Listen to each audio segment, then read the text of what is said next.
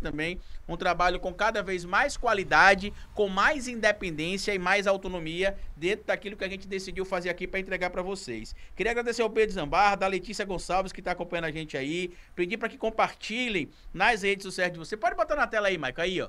Pedro Zambarra tá aí com a gente, com drops de jogos. Inclusive, Pedro, queria deixar aqui minha solidariedade a você, né? Sua página foi hackeada também no Facebook. Compartilhei lá no, na, na, no Twitter, no X, né? A sua situação. Infelizmente, essas plataformas fazem pouco caso com a nossa situação. No meu caso, por exemplo, a minha página foi hackeada no Facebook no dia 14 de julho. A empresa, a Meta, só me devolveu a minha página na semana passada e mesmo assim cheia de restrição, de conteúdo inapropriado, monetização suspensa, num Shadowban. O meu material, por exemplo, a Meta, se você digitar no, meu, no Facebook, por exemplo, ou historiador, você não acha a minha página antiga, só acha a página nova. Por quê? Porque estamos lá em um Shadowban e eu já entrei em contato com eles, eles estão dizendo que aos poucos vão liberando lá as coisas, que eles estão checando ainda.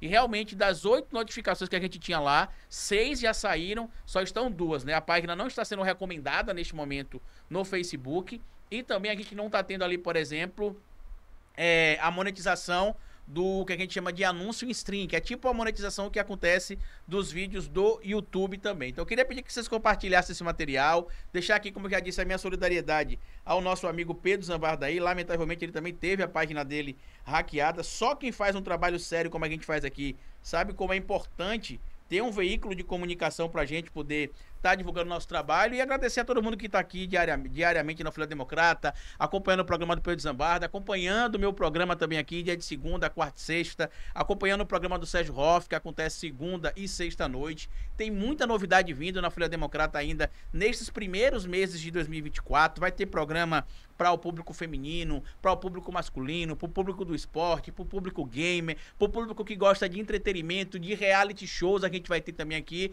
E aos esse é um vídeo, gente, do Carlito Neto aí prestando solidariedade comigo sobre a invasão hacker que o Drops de Jogos sofreu recentemente.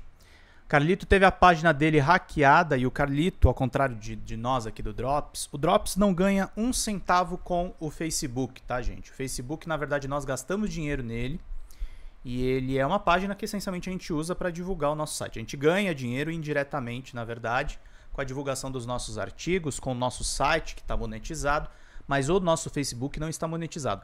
O caso do Carlito é diferente, ele tem uma página, a Folha Democrata, que é o jornal da onde ele está falando que eu que eu sou orgulhosamente eu sou um dos editores, é uma, um canal no YouTube com 70 mil inscritos e a página dele no Facebook tem, também tem 70 mil inscritos e é monetizada.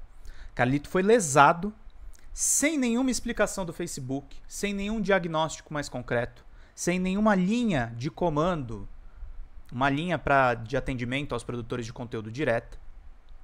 Nada que a gente possa realmente conversar e tirar as dúvidas. O Carlito faz um trabalho de política, meus queridos e minhas queridas. Ele faz um trabalho de política à esquerda. No mesmo dia que o Drops de Jogos foi hackeado, e o Drops de Jogos, volta a dizer, é uma página com 6 mil likes no Facebook que não gera um real de receita. No mesmo dia, o youtuber Jones Manuel também perdeu o controle da página dele. E o Jones é um cara com quem eu nem converso tanto. O Jones e o Carlito, inclusive, não, não, não há nenhuma simpatia entre eles. O Jones é um militante comunista. No mesmo dia que a minha página tirada do meu, da minha moderação, o Jones Manuel, que é um cara grande também no Facebook, perde a página dele e eu acredito que o Jones também tenha monetizado a página dele. Esse ataque, meus queridos, ele é coordenado. No meu caso, tem um caso adicional que é o seguinte: eu não preciso nem ter muitos seguidores. Eu faço parte, além de eu me posicionar à esquerda, eu sou um jornalista que o pessoal classifica. Eu não gosto muito dessa designação, mas eu sou o que o pessoal fala que é jornalista investigativo. Eu não sou um cara que fica replicando informação. Eu não sou um cara que fica fazendo sensacionalismo de informação na internet. Eu sou literalmente o repórter pé no barro como meu amigo Vinícius Segala, como a Amanda Audi, que eu conheço também, nós trabalhamos juntos no Intercept, como inúmeros repórteres de grandes jornais. Nós somos pessoas que vamos atrás da fonte primária de informação. E muitas das minhas matérias acabaram incomodando gente muito poderosa. Então, Drops de Jogos ele tá virando alvo por conta deu eh, da minha pessoa, eu como jornalista, como editor-chefe, por eu estar fazendo inclusive um trabalho bom para a indústria de games, que é um trabalho crítico. É um trabalho que vai direto ao ponto, é o um trabalho que vai atrás das informações para melhorar esse mercado.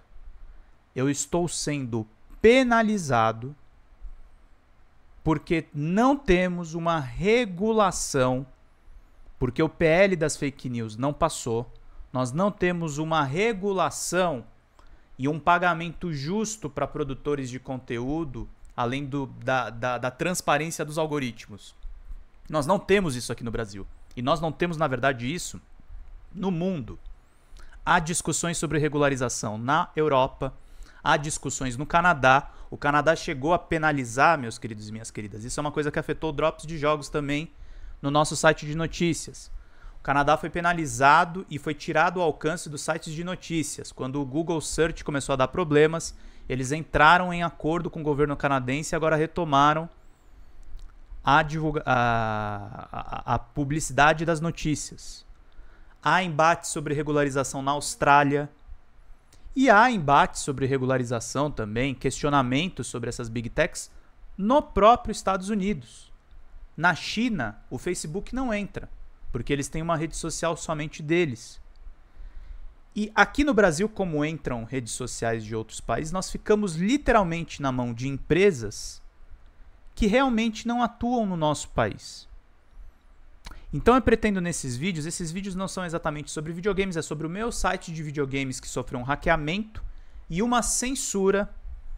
Eu pretendo ampliar um pouco esse debate a respeito das big techs. Porque quando a gente sente na pele, gente, o prejuízo, o Carlito sentiu muito mais ainda o prejuízo. Ele ficou desde julho do ano passado, praticamente seis meses, sem nenhuma receita nas atividades dele do Facebook por conta desse mesmo tipo de hackeamento, que, na minha opinião, é feito por grupos organizados.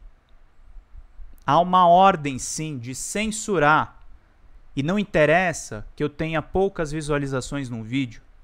Não interessa que o Calito tenha mais visualizações no vídeo.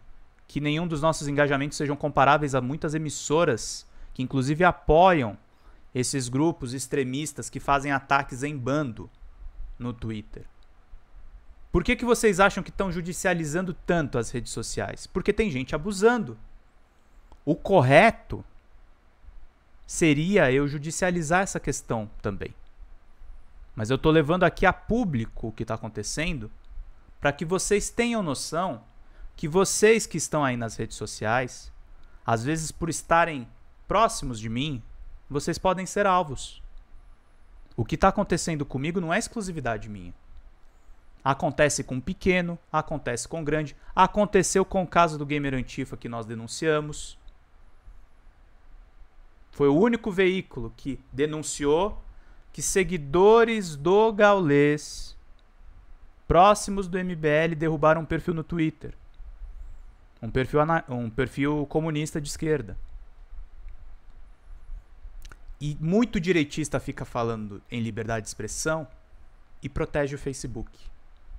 E protege as grandes corporações. Protege as big techs que faturam inclusive em cima dos discursos de ódio, que faturam inclusive em cima de notícias inventadas, que não tem critério a respeito do alcance das notícias, não sabe não, não sabe não, eles sabem como fazer isso, mas não querem cortar o alcance porque eles estão ganhando dinheiro em cima de polêmicas, em cima de, em cima de brigas, em cima de fraudes que são divulgadas nessas redes sociais.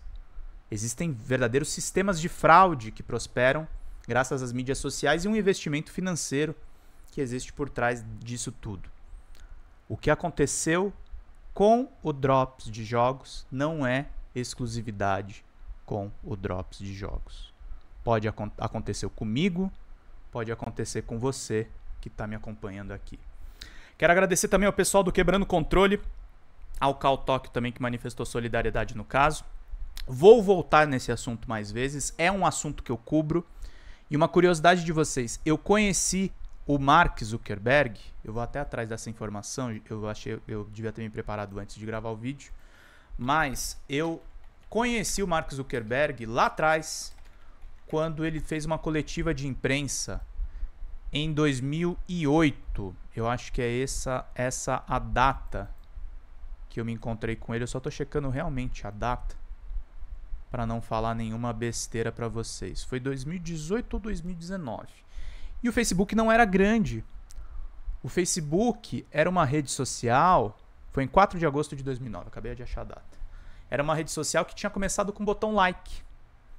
E o Zuckerberg era um cara formado em psicologia. Ele sabia que a interação do like faria toda a mudança na internet.